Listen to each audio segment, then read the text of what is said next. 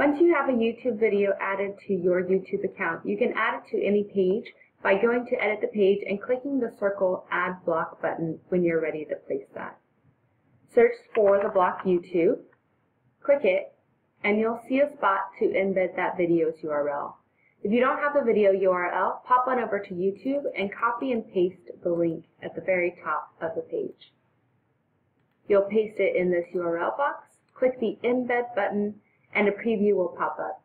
If a preview does not pop up, you'll want to go back into YouTube and check the video settings.